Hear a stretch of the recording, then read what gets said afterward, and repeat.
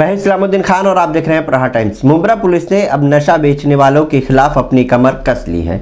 दो सौ तिरपन ग्राम एमडी नामक नशीला पदार्थ के साथ दो व्यक्तियों को मुंब्रा के रेती बंदर से गिरफ़्तार किया गया है। नशीला पदार्थ की कीमत बारह लाख पैंसठ हज़ार रुपया बताई जा रही है। मुंब्रा पुलिस के डिटेक्शन ब्रांच के उदय किरपन को जानकारी मिली कि दो व्यक्ति नशीला पदार्थ की बिक्री करने के लिए मुमरा रेती बंदर पर आने वाले हैं।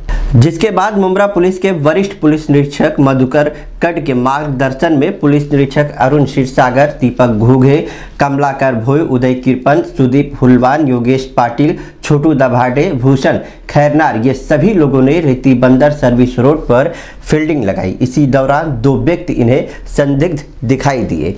पूछताछ में इन लोगों ने अपना नाम मनीष कुमार बोरीचा, चौंतीस साल, और दूसरे का नाम रवि खोड़ा, भाई वाला बत्तीस साल बताया, दोनों मुंबई के भाई खल्ला के रहने वाले हैं। तलाशी के दौरान इनके पास से 235 ग्राम मेफेड्रिन एमडी नामक नशीला पदार्थ मिला, जिसे जब्त कर लिया गया है। एक स्कूटी भी पुलिस ने इनके पास से जब्त की है। कुल मिलाकर बारह लाख अट्ठानवे हज़ार तीन सौ रुपये का माल जब्त किया गया है। आरोपी के खिलाफ एनडीपीएस कलम आठ का बाईस का, उनतीस के तहत मामला दर्ज कर इन्हें कोर्ट में पेश किया गया, जहाँ से इन्हें आठ तारीख तक पीसी मिली हुई है।